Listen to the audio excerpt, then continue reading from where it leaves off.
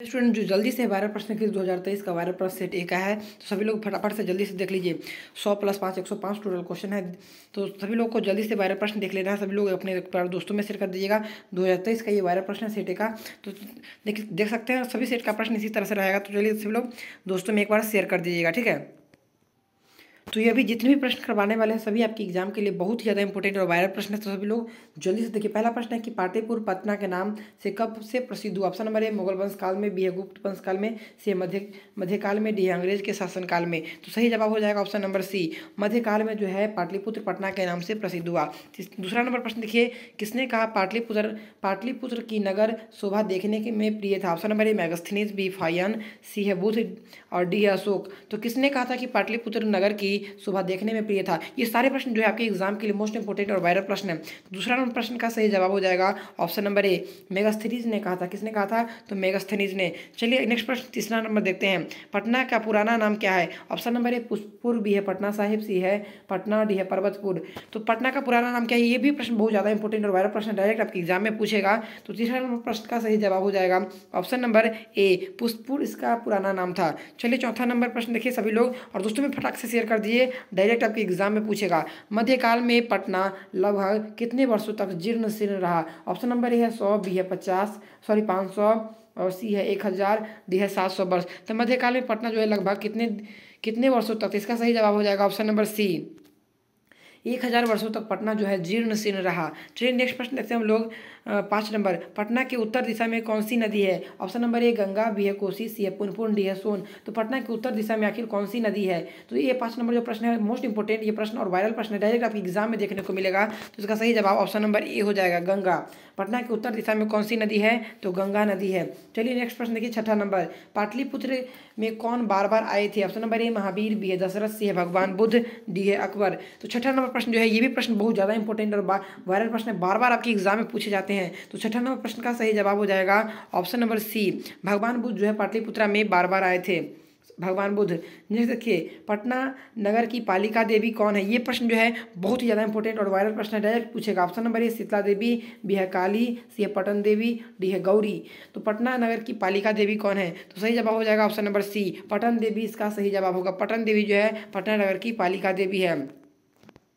आठ नंबर प्रश्न। पटना किस नदी के किनारे अवस्थित है? ऑप्शन नंबर ए है यमुना बी है सोन सी है गंगा डी है फल्गु। तो ये सभी लोग जानते हैं कि पटना जो है गंगा नदी के किनारे अवस्थित है। गंगा गंगा इसका सही जवाब हो जाएगा। चलिए नेक्स्ट प्रश्न देखिएगा। पटना में कोमदी महोत्सव कब मनाया जाता था? ऑप्शन नंबर ए गुप्त वंश काल में बी है मुगल वंश काल में सी है अशोक के समय में डी है अंग्रेज़ के समय में। तो पटना में आखिर कौमदी महोत्सव कब मनाया जाता था? तो इसका सही जवाब हो जाएगा। ऑप्शन नंबर जो है, पटना में कौमदी महोत्सव मनाया जाता था गुप्त वंश काल में। ऑप्शन नंबर ए चलिए दस नंबर प्रश्न देखिए फटाफट से सभी लोग। मेगास्त्री पटना में किसके समय में आए थे? Option number A Ashok B B है मुगल वंश सी चंद्रगुप्त मौर्य डी है अंग्रेज़ों के समय में। तो मेगास्थिनी जो पटना जो आए थे, वो किसके समय में आए थे? तो चंद्रगुप्त मौर्य के समय। फटाफट सभी लोग जल्दी से आंसर देख लीजिए। और ये वायरल प्रश्न डायरेक्ट आपके एग्ज़ाम में पूछेगा। डायरेक्ट आपके एग्ज़ाम के लिए मोस्ट इंपॉर्टेंट और वायरल प्रश्न है। देखिए नेक्स्ट प्रश्न क्या है? पाटल पुष्प की पुत्तिलिका के रचना के आधार पर पटना कौन सा नाम है? Option number A, Pushpur, B है कुसुमपुर, सी है पाटलिपुत्र, डी है पटना।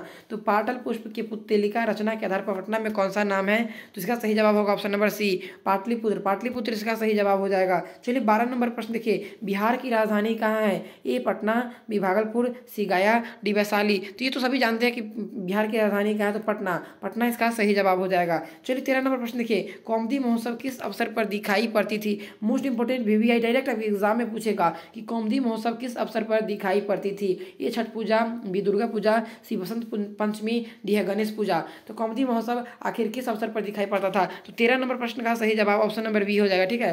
किस पर? तो दुर्गा पूजा पर कौमदी महोत्सव का जो है दिखाई देता था। चलिए चौदह नंबर प्रश्न देखिए, चौदह नंबर। किस नदी पर गांधी सेतु सड़क मार्ग बना है? ये एशिया का सबसे बड़ा गांधी सेतु है ठीक है, सेतु एशिया का सबसे बड़ा सेतु। ऑप्शन नंबर ए, सोन, बिगंगा गंगा सी यमुना डी गंगा गंडक। देखिए, किस नदी पर गांधी सेतु सड़क मार्ग बना है? तो ऑप्शन नंबर बी, गंगा नदी पर जो है, वह गांधी सेतु मार्ग बना है। चलिए नेक्स्ट देखिए नेक्स्ट जल्दी से देख लीजिए। सारे प्रश्न इंपॉर्टेंट और वायरल प्रश्न डायरेक्ट आपके एग्ज़ाम में पूछे जाएँगे। योग सूत्र के रचनाकार पानिनी बी है बरुचि सी है पतंजलि डी है बास, ये भी प्रश्न बहुत ज़्यादा इंपॉर्टेंट और वायरल प्रश्न डायरेक्ट आपके एग्ज़ाम में पूछता है कि योग सूत्र के रचनाकार कौन है? तो पंद्रह नंबर प्रश्न का सही जवाब ऑप्शन नंबर सी, पतंजलि, इसका सही जवाब होगा। योग सूत्र के रचनाकार कौन है? तो पतंजलि। चलिए नेक्स्ट देखिए शरद काल में कौन सा महोत्सव होता है? Option number A, Durga Puja, B है सरस्वती पूजा, सी है गणेश उत्सव, डी है कौमुदी। तो शरद काल में कौन सा महोत्सव होता है? तो सोलह का सही जवाब होगा ऑप्शन नंबर डी, कौमदी महोत्सव मनाया जाता है। कौन से काल में? तो शरत काल में। चलिए नेक्स्ट देखिए, फटाफट से देख लीजिए, कौमदी महोत्सव किस वंश में प्रचलित था? ये प्रश्न मोस्ट इंपोर्टेंट और वायरल प्रश्न है। कौमदी महोत्सव किस वंश में प्रचलित था? राजवंश, गुप्त वंश, सी है पुरु वंश और डी है अशोक। तो सत्रह नंबर प्रश्न का सही जवाब ऑप्शन नंबर बी हो जाएगा, ठीक है? कौमदी महोत्सव जो है, कौन से वंश में? तो गुप्त वंश में प्रचलित था। ऑप्शन नंबर बी चलिए नेक्स्ट अठारह नंबर प्रश्न देख लीजिए। व्याकरण के रचनाकार। ये प्रश्न तो आप लोग हंड्रेड परसेंट याद कर लीजिएगा। मोस्ट वायरल प्रश्न है ये। पिंगल, पाननी, भास, वरुचि। देखिए, व्याकरण के रचनाकार कौन है? तो पानिनी। पानिनी याद रखिएगा, ठीक है? व्याकरण के रचनाकार पानिनी। चलिए, उन्नीस नंबर प्रश्न देखिए। पटन देवी कहाँ अवस्थित है? Option number A Vaishali B Rajgir C Nalanda D, Patna. तो उन्नीस नंबर जो प्रश्न है कि पटन देवी कहाँ अवस्थित है? तो इसका सही जवाब होगा option number D Patna. Patan Devi कहाँ अवस्थित है? तो पटना इसका सही जवाब हो जाएगा। चलिए बीस नंबर प्रश्न देखिए। एशिया महादेश का सबसे लंबा पुल सेतु कहाँ है? Option number A Nalanda B Darbhanga C Patna D Siwan. ये मोस्ट इंपोर्टेंट और वायरल प्रश्न डायरेक्ट आपके एग्ज़ाम में पूछेगा। मोस्ट वायरल प्रश्न है। एशिया महादेश का सबसे लंबा पुल। पीछे भी मैंने बताया था। तो नालंदा, दरभंगा, पटना, सिवान। गांधी सेतु पटना में जो है, एशिया महादेश का सबसे लंबा पुल या सेतु है। नेक्स्ट नेक्स्ट जल्दी से। गोलघर कहाँ है? हाजीपुर, नालंदा, पटना, वैशाली। मोस्ट वायरल प्रश्न, गोलघर कहाँ है? तो गोलघर कहाँ है? पटना। पटना याद रखिएगा। चलिए बाईस नंबर प्रश्न देखिए। गुरु गोविंद सिंह का जन्म हुआ था। कहाँ हुआ था? Option number A, Patna Vaishali, C, Nalanda, D, Gaya. आखिर गुरु गोविंद सिंह जी का जन्म कहाँ हुआ था? तो गुरु गोविंद सिंह जी का जन्म जो हुआ था, पटना साहिब पटना होगा, ठीक है? चलिए तेईस नंबर प्रश्न देख लीजिए फटाफट से। सारे प्रश्न वायरल प्रश्न डायरेक्ट आपके एग्ज़ाम में छपेगा एक भी प्रश्न से बाहर नहीं आने वाला है। मुगल काल में किसका उद्धार हुआ? Option number A Bhojpur B है पाटलिपुत्र सी है गाया डी है वैशाली। तो मुगल काल में आखिर किसका जो है उद्धार हुआ? पाटलिपुत्र इसका सही जवाब हो जाएगा, ठीक है? पाटलिपुत्र। देखिए, चौबीस नंबर, गोविंद सिंह सिख संप्रदाय के कौन से गुरु थे? गोविंद सिंह जो सिख संप्रदाय के थे, वह कौन से गुरु थे? ऑप्शन नंबर ए सतवें आठवें, नौवें सी है नौ में और डी है दस में तो सिख संप्रदाय के गोविंद सिंह जो है, दसवें गुरु थे और इसका जन्म जो है पटना में हुआ था, याद रखिएगा, पूछता है। चलिए पच्चीस नंबर प्रश्न देखिए। गांधी गांधी सेतु कहाँ है? भागलपुर पाटलिपुत्र, गाया, बक्सर। तो गांधी सेतु कहाँ है? तो पाटलिपुत्र पाटलिपुत्र इसका सही जवाब हो जाएगा, ठीक है? गांधी सेतु आखिर कहाँ है? तो पाटलिपुत्र। चलिए छः नंबर प्रश्न देख लीजिए फटाफट से। कुटनित्तम काव्य के कवि कौन है? राजशेखर दामोदर गुप्त, सी है विशाखा दत्त, डी है कालिदास। बार बार बार ये प्रश्न पूछा जाता है। वायरल प्रश्न आपके एग्ज़ाम में डायरेक्ट यही प्रश्न छपेगा कि कुटनित्तम काव्य के कवि कौन है? तो छब्बीस का सही जवाब ऑप्शन नंबर बी हो जाएगा, दामोदर गुप्त। दामोदर गुप्त जो है कुटनित्तम काव्य के क्या है? लेखक है, कवि है। यूनान का राजदूत कौन था? यूनान का राजदूत कौन था? मोस्ट वायरल प्रश्न यूनान का राजदूत फाइयान वेंसांग मैगस्थनीज इत सिंह। आखिर कौन यूनान का राजदूत था? मोस्ट इंपोर्टेंट और ये वायरल प्रश्न है डायरेक्ट आपके एग्ज़ाम में पूछेगा। तो सत्ताईस नंबर का सही जवाब ऑप्शन नंबर सी होगा। मेगास्थनीज जो था, यूनान का राजदूत था। चलिए नेक्स्ट प्रश्न अट्ठाईस नंबर देखिए। राजशेखर की रचना कौन सी है? ऑप्शन नंबर ए काव्य मीमांसा बी है कुटनिमित्तम सी है मुद्र राक्षस, और डी है यात्रा संस्मरण तो राजशेखर की रचना कौन सी है? तो इसका सही जवाब होगा ऑप्शन नंबर एक कुट काव्य भी मानसा, काव्य मनसा। अगर वायरल क्वेश्चन चाहते हैं तो आप लोग फटाफट से प्राइवेट ग्रुप में ज्वाइन हो जाएगा। फटाफट से प्राइवेट ग्रुप में ज्वाइन हो जाना है, ठीक है? सभी लोग को वायरल क्वेश्चन अगर चाहते हैं तो प्राइवेट ग्रुप में आपको ज्वाइन हो जाना है। लास्ट में बता देंगे कैसे ज्वाइन होना है, ठीक है?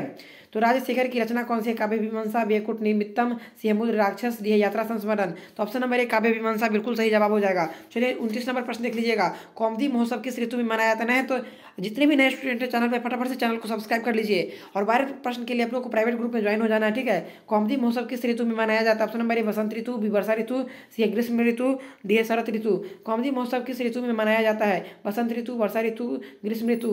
देखिए कौमदी महोत्सव जो है, वो शरत ऋतु में मनाया जाता है। कौन सी ऋतु में तो शरत ऑप्शन नंबर डी इसका सही जवाब हो जाएगा, ठीक है? कौन सी ऋतु तो शरत में चलिए लास्ट प्रश्न ये प्रश्न जो है बहुत ही इंपॉर्टेंट और वायरल प्रश्न है। किसके समय पाटलिपुत्र अधिक समृद्ध था? चंद्रगुप्त, बी है अशोक, सी है बुद्ध, डी है मेगास्थनीज तो आखिर किसके समय जो है पाटलिपुत्र अधिक जो समृद्ध था, विकासशील था? तो तीस नंबर प्रश्न का सही जवाब हो जाएगा ऑप्शन नंबर ए। चंद्रगुप्त के समय जो है पाटलिपुत्र अधिक समृद्ध और विकसित था। जितने भी नए स्टूडेंट चैनल पर नए हैं तो चैनल को सब्सक्राइब कर लीजिए और जो वायरल क्वेश्चन के लिए आप लोग को प्राइवेट ग्रुप में ज्वाइन हो जाना, क्या करना कमेंट नीचे कर देना, ठीक है? तो चलिए, हम लोग यहीं पर ख़त्म करते हैं।